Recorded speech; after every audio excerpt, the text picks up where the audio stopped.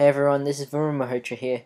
Today I am doing a breakdown of Tainan Dalpra versus Alex Munis at the 2019 Europeans.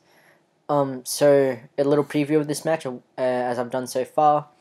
Uh, Tainan is a very well-rounded jiu-jitsu guy. Um, he's he likes to play both top and bottom, and he like he he's often unpredictable in what he's going to use in comp. It's usually depending on the opponent. Um, on bottom, he likes to use a lot of waiter sweeps, and also uh, and he likes to transition to X guard from there, and he also uh, likes to go for bolos from there.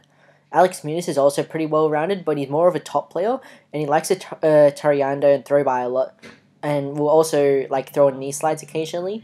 I've actually rolled with him at Euros, and one thing that takes you by surprise is his athleticism when he does all of his movements, and he's really good at gauging distance whenever he's doing his around passes. Um, so at the start of the match, we got to see what the goals of each athletes are. So they both like to do a gripped pull. So they both like grab, grab the collar and the sleeve, okay, instead of pulling from a distance, much like the lighter guys do, as they're both middleweights.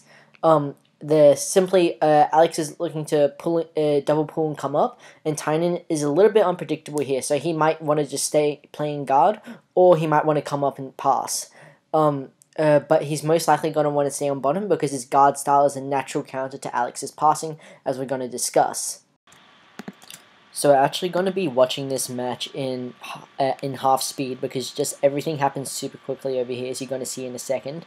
Uh, yeah, so that's just gonna, we're still going to do the replays and everything. It's just going to help us break it down further. So they start the match, and we're going to see them uh, kind of uh, they touch hands, and they're going to start gauging their distance. And um, you're going to see straight away, whenever they both go for their pull, they're both going to kind of butt heads because they both like to do the same kind of pull where they grip up and then fall to their back. And um, you see, uh, Alex tries to reset a little bit, but Tainan was really smart in that moment to just go straight and capitalize uh, on the pull. So we're going to take a replay of that. And um, uh, uh, Tainan, when he gets that clean pull, he puts both his feet past the hips, which stops any kind of tar- uh, or throw by. As Alex gets his base, Tainan makes a, a, good decision to start going for his underhook De La Riva series. This was the defining moment in the match because um uh, the underhook stops all movement passes and Alex can't explosively get his legs back to toreando or throw by. To make the position worse for Alex, Tainan also gets inside position with his right leg, which is also another way to slow down movement passes. Uh, to uh, to make Alex drop to his left knee, Tainan starts bringing his weight to his right for a way to sweep. Normally guys push with their collar grip, but he doesn't in this case. We see Alex bringing his attention uh, with his right hand to Tainan's left shin, but um, that isn't the best thing to do in this scenario. The best thing is to control the sleeve that Tainan is using to grab the pants and to, put his weight on and for Alex to put his weight onto his right foot so he can start shin sliding as you're going to see in these clips.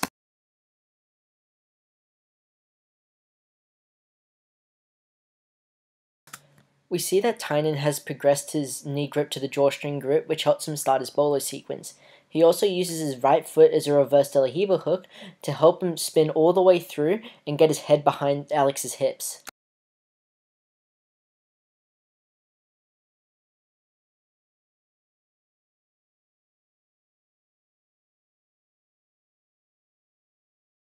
Another thing that's important to point out is that Alex has his hips on the floor because if he didn't have that and stayed on his knee then he would be given up a baby bolo. But because he has his hips on the floor he gives a berimbolo instead.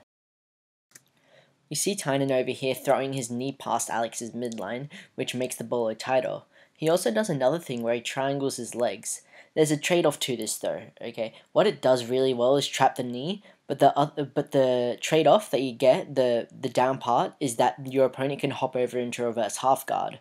The other variation is where you stomp both your feet down to the mat.